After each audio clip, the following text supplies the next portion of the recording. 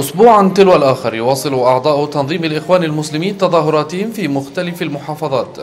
الأمر الذي لا يخلو دائما من أعمال شغب وتخريب للممتلكات العامة والخاصة. ودارت أمس اشتباكات بين أعضاء التنظيم ومواطنين في شارع أحمد عرابي بمنطقة المهندسين ما أدى إلى عدد من الإصابات وتلفيات في المحال التجارية. أنا قاعد وقاعد ببيع وفجأة لقيت انابل وحاجات كده والإخوان بي بي ال- الناس اللي معدية بتاعت مدينة الطلبة دي بتاخد حاجات وتجري وبتغسل وشها.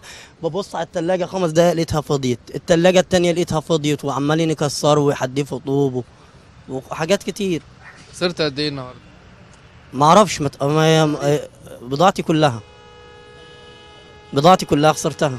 وقفوا الحال كله الناس كلها وغير الأطفال اللي هي اتعورت واصابت بالإزاز اللي هم كانوا عاملين يرموه ولعوا كاوتشات بتاعت عربيات جديدة لانج خدوها من آه، من معرض كاوتشات آه، هنا على اليمين. آه، بوظوا الدنيا.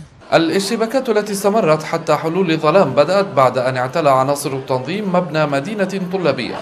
وبدأوا في التراشق بالحجارة والزجاجات مع الأهالي محدثين بذلك فوضى أدت إلى توقف حركة المرور تماما وإغلاق المحال في منطقة تعد تجارية بالدرجة الأولى. الطلبة دول مش شايفين منهم غير المشاكل بس وكل يوم الإخوان طالعين لنا بمصيرة كل ما الشارع يدهن ويبقى شكله جميل والمحافظة تصرف والدولة تصرف يجوا الإخوان وهم معدين بالمصيرة بتاعتهم يكسروا كل اليفط يكسروا يفط المحلات يكسروا الإعلانات الإعلانات كلها اتكسرت في المنطقة وبيحطوا عليها ألفاظ يعني محدش لا يسمعها ولا يشوفها.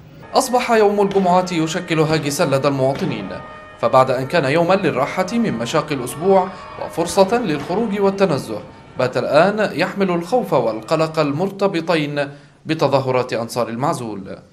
أحمد حسين بث مباشر.